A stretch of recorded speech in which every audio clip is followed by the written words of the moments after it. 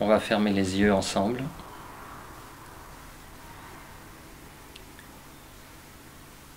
Et on va se tourner vers l'intérieur avec le désir sincère de retrouver son âme, un désir de simplifier, de rassembler, de réunifier.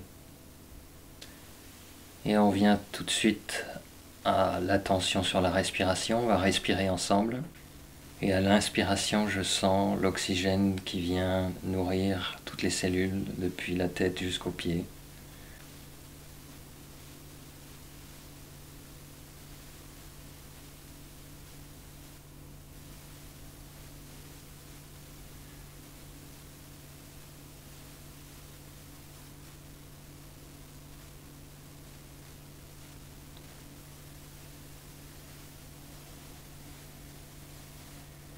Et puis je m'ouvre à l'émotion du moment. Cette émotion qui est là, qui fait comme une petite présence ou une pointe dans le ventre ou dans la poitrine.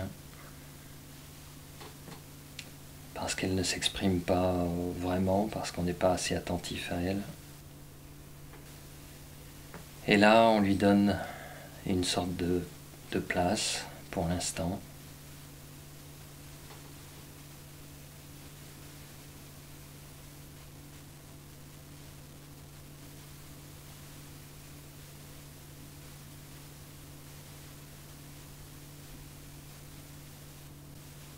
On respire et on revient à l'émotion qu'on laisse exister et puis disparaître. Et puis on respire à nouveau.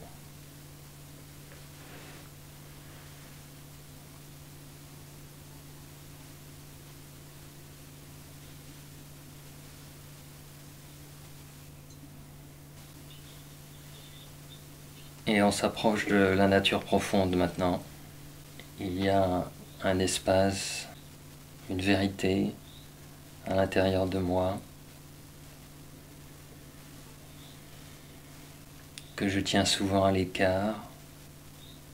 Alors, quelle est ma vraie nature, mon vrai refuge, ma vraie ressource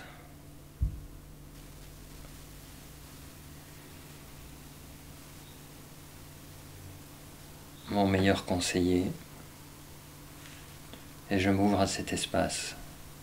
Comme si la première impression c'est que quelque chose s'ouvrait à l'intérieur, là où c'est souvent un peu encore étroit, comprimé, quelque chose s'ouvre.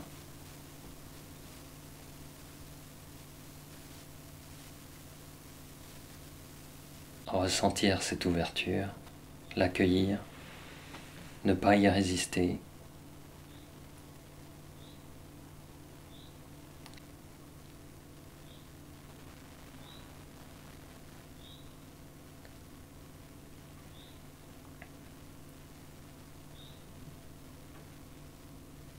Et tout ce qui m'attache habituellement se relâche, se détend ou se dissout même.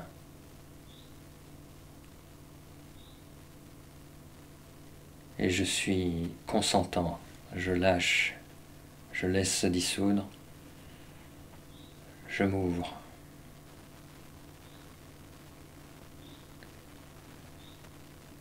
Et je sens que cette ouverture, ce n'est pas vraiment un acte, c'est le fait de me retrouver dans ce que j'ai le plus fondamental, le plus essentiel. C'est même pas une capacité à s'ouvrir, c'est un, un état d'ouverture et de relâchement.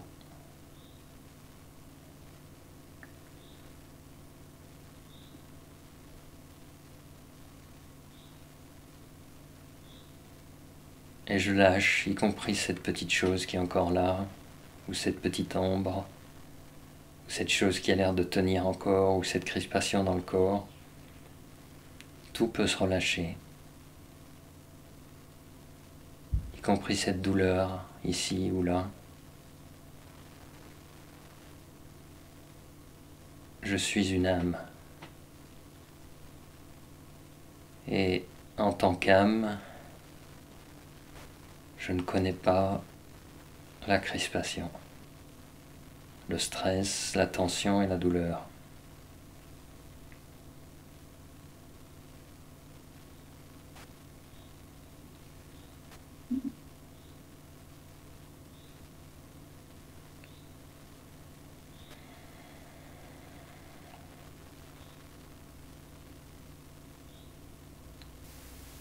Je suis chez moi.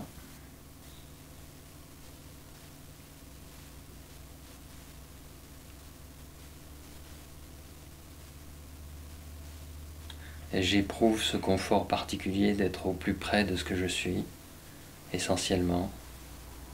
Donc si loin du, du personnage social et de ses complications.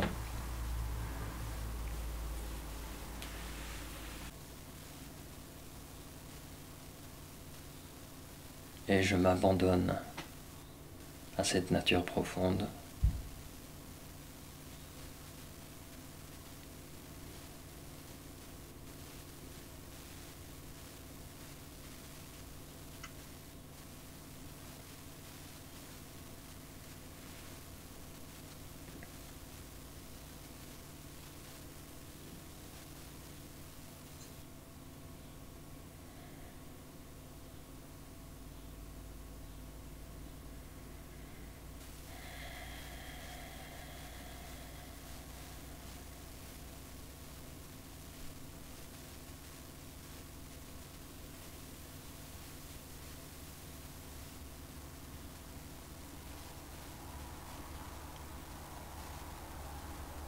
Et avec le regard intérieur, je regarde autour de moi et je réalise que tout autour de moi est de la vie, une vie naissante, une vie bourgeonnante qui n'est pas encore manifestée. C'est comme si j'étais à cet endroit où rien n'était encore né, où même mon chemin de vie ne s'était pas encore déployé, où les strates de l'être n'étaient pas encore manifestées. Tout est contenu et tout est visible en même temps.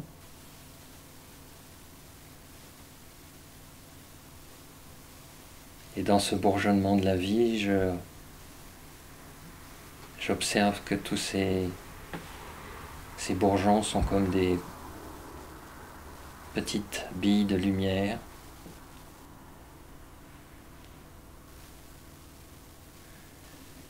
Et je vais faire le chemin de l'émergence originelle en partant d'une de ces pépites de lumière.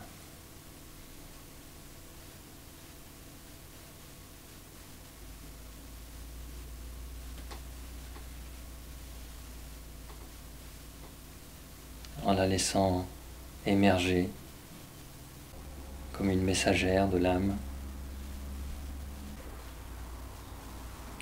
J'accompagne l'émergence de cette pépite de lumière comme si je la suivais des yeux. Dans son premier déploiement, je ressens l'amour pur. Le sentiment vrai de l'amour, un sentiment qui ne demande rien, qui n'a même besoin de rien recevoir, qui est juste pur amour.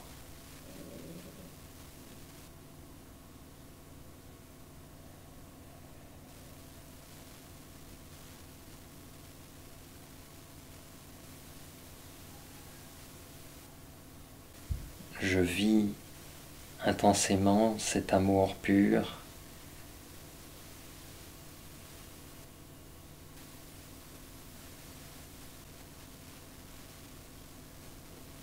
Je suis une âme et puis je suis amour. Je suis aimant. En tant qu'âme, j'étais tout accueil et avec l'émergence de l'âme, je suis tout amour. Important de retrouver ça.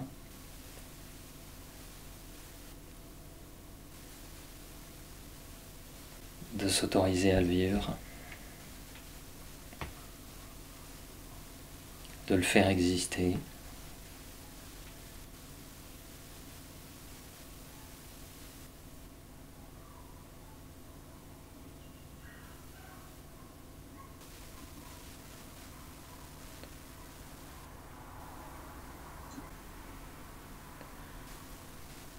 À cet endroit, je ne suis encore pas quelqu'un qui va manifester des besoins, des attentes. Je suis à l'opposé de ça. Et c'est plus proche de ma nature profonde. Je suis un amour pur qui est comme une sorte de reconnaissance infinie de l'intelligence de la vie. Je reconnais infiniment l'intelligence du vivant dont je suis l'émanation.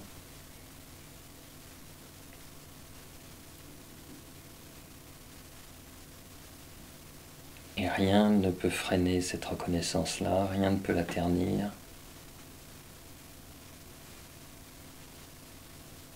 Mais il y a comme une mission à cet endroit. Comment vais-je faire exister cet amour avec ce qui suit? Puisque cette pépite d'amour continue son ascension et manifeste les premières émotions.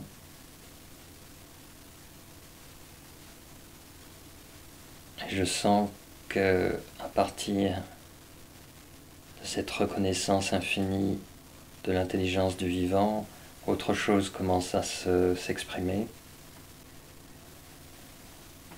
qui est une sorte de désir de faire circuler cet amour le partager.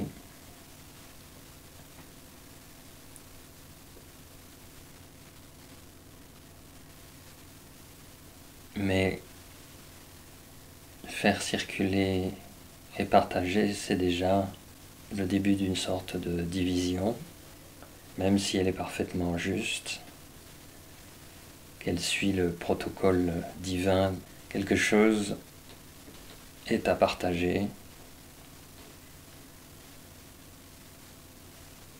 Et apparaît alors la peur que ce ne soit pas partagé.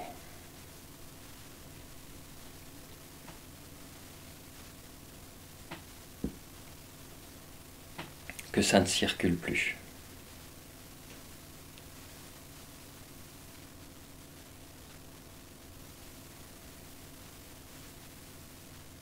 Et la pépite perd un peu de sa lumière mais en même temps elle s'incarne un peu plus.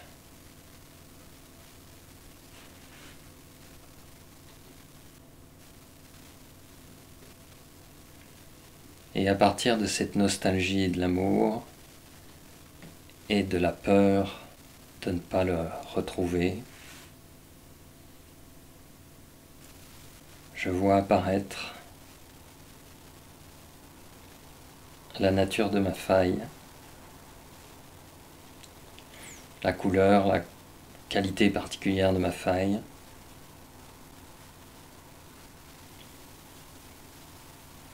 Et ce que je vois à cet endroit-là, je ne vais pas l'oublier. Je l'oublierai peut-être, mais il faudra que je le retrouve si c'est le cas.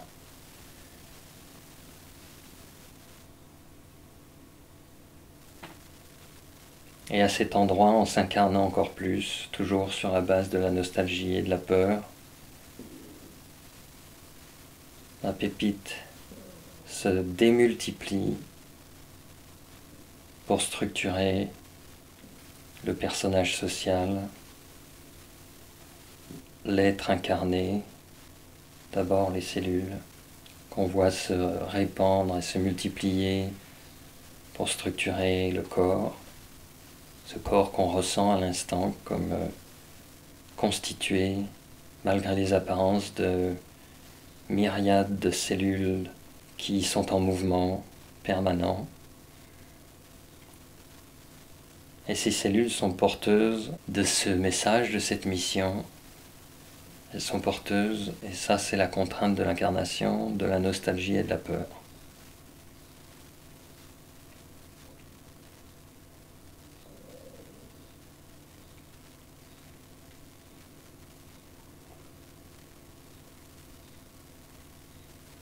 Et il y a comme un défi inscrit dans les cellules.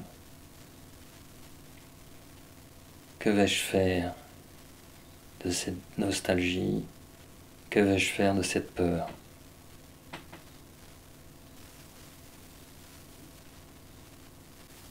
Mais ce tiraillement a un sens parce qu'un apprentissage va se produire dans ce tiraillement. Et je sais encore à l'instant que c'est la nostalgie qui triomphera. Même si la peur nous dira souvent le contraire.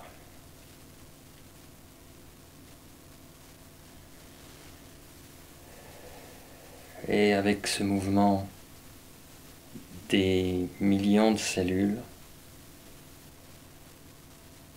des millions de pépites. Je respire. Et je respire amplement, comme si ça permettait de, mieux faire circuler toutes les pépites, toutes les cellules, toutes les bulles d'oxygène, tout ce grand partage.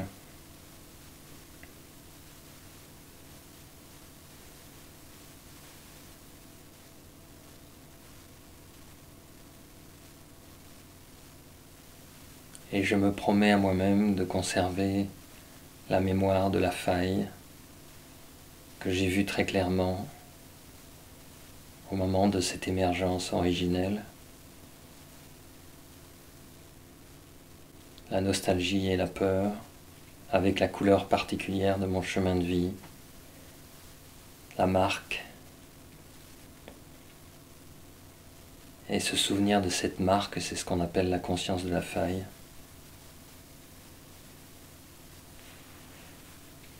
Et à un moment de mon chemin de vie, retourner vers la faille et traverser pour revenir à ma nature profonde. Ce sera l'aboutissement, l'accomplissement de, l'apprentissage. Donc je respire avec toute cette connaissance à l'intérieur de moi, avec euh, cette reconnaissance de ce chemin, de ce que je suis venu faire ici, du lien entre tout, du puzzle complet, de l'âme et du personnage social, du lien entre les deux, de la raison d'être de ces différentes strates et de la boucle que je dois faire à partir de ma naissance en tant qu'être incarné depuis la faille jusqu'au retour dans le passage du chat de l'aiguille pour retrouver ma nature profonde.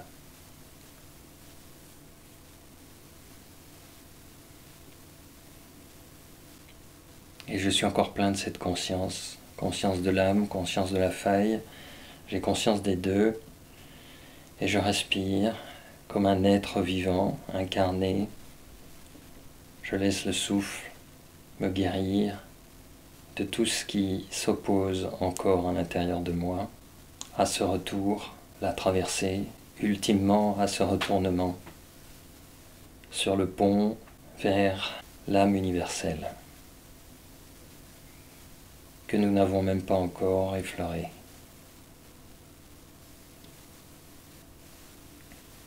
Mais chaque chose en son temps, et donc je peux respirer en toute sérénité et me préparer à la relation, au dialogue, à tout ce qui fait de nous des êtres euh, incarnés, dynamiques, relationnels, mais reliés à leur chemin de vie, reliés à la conscience de la faille, à la nostalgie de l'amour. Donc je vais respirer silencieusement maintenant, pendant une douzaine de fois, tranquillement, avec amplitude, et puis après, je m'étirerai pour faire bouger le corps. Et puis quand j'aurai fait tout ça, seulement, tranquillement, j'ouvrirai les yeux.